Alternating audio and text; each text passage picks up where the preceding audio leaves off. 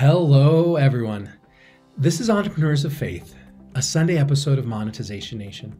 I'm Nathan Gwilliam, your host. In today's episode, we're going to discuss portions of a sermon by a church leader named Gordon Hinckley about the world's need for greater kindness. And we'll discuss how kindness can help us make a greater difference for good as entrepreneurs. Hinckley described the kind of world we live in today, saying, quote, I have wondered why there is so much hatred in the world. We're involved in terrible wars with lives lost and many crippling wounds. Coming closer to home, there is so much jealousy, pride, arrogance, and carping criticism. Fathers who rise in anger over small, inconsequential things and make wives weep and children fear. Unquote. He continued, quote, Let us all recognize that each of us is a son or daughter of our Heavenly Father who loves all of his children. Unquote. With all the hate, jealousy, pride, arrogance, and criticism in the world, not to mention the wars and violence. We need to be kind. We need to do what we can to push back against all that negativity and show the world that there is still good in people. Galatians 6:10 reads, "As we have therefore opportunity, let us do good unto all men." Unquote. Amelia Earhart said, quote, "A single act of kindness throws out roots in all directions, and the roots spring up and make new trees. Unquote. We can drive our businesses forward through acts of kindness. Daniel Lubetzky, founder of the New York based company Kind Snacks, does this.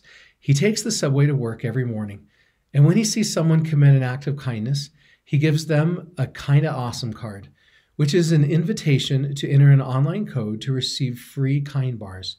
He also gives them a second Kinda Awesome card to give to a selfless stranger. Source BeTheChange.com. The gesture is part of a company wide cause marketing movement to trigger a chain of random acts of kindness around the world. It has generated more than 1 million acts of kindness. This kind of tactic creates loyalty in existing customers and awareness for potential customers. Source BeTheChange.com. Strategies like these are great ways to spread kindness and help our business. They show customers that we care and we are willing to put in effort when it comes to being a good business.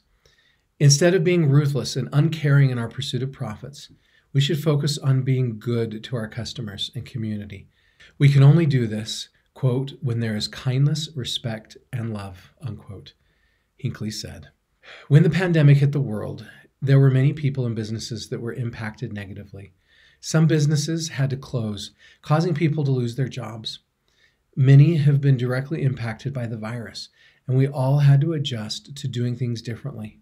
However, some businesses saw this as an opportunity to do some good. For example, Wild North Flowers, a company based in Toronto, was forced to transition to an online only model when the pandemic hit. Though the business took a hit financially, Jennifer Fowlow, founder and owner, did what she could to make a difference in the community. Source Shopify.com.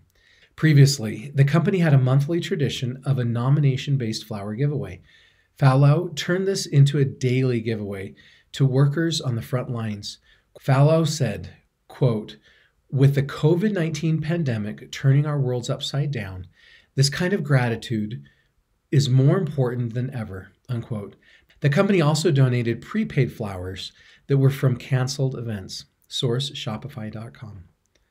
Another company, Somersault, found a different way to make an impact. Somersault is a brand dedicated to joyful moments like swimming, traveling, sleeping, and lounging. However, its apparel basics were also perfect for those who have had to isolate, something that usually isn't a joyful moment. Source Shopify.com again.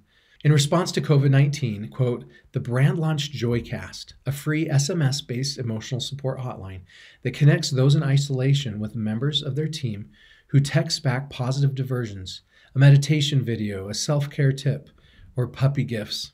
Unquote. Source Shopify.com. While the pandemic has been hard in different ways for everyone, we can be a force for good through sharing kindness. In Hinckley's sermon, he went on to describe numerous humanitarian efforts happening throughout the world.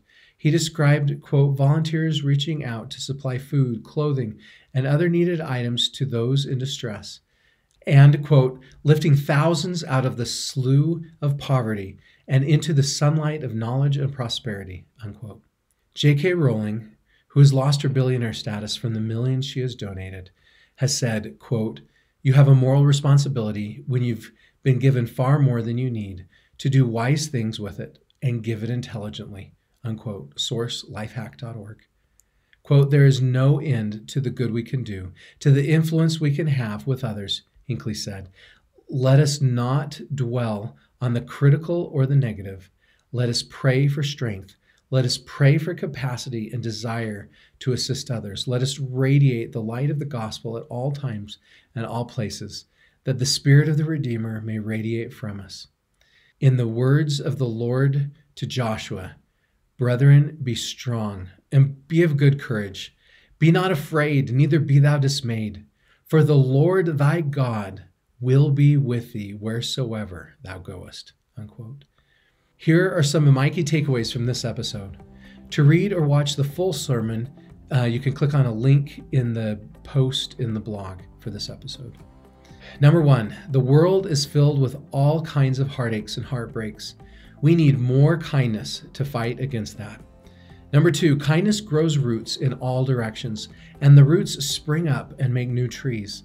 Likewise, our actions of kindness can spread and multiply. Number three, when we are blessed with more resources than we need, we should give back and help those who need it. If this episode of Entrepreneurs of Faith resonated with you, please subscribe for free to Monetization Nation so you can receive future episodes of Entrepreneurs of Faith. Number one, you can subscribe for free to the Monetization Nation e magazine at monetizationnation.com. Number two, you can subscribe to the Monetization Nation podcast and YouTube channel. Number three, please follow Monetization Nation on Instagram and Twitter. What is the best example you've seen of a business sharing kindness? Please join our private Monetization Nation Facebook group and share your insights with other digital monetizers. Thanks for joining me for this episode. I wish you success in your efforts to spread a little more kindness.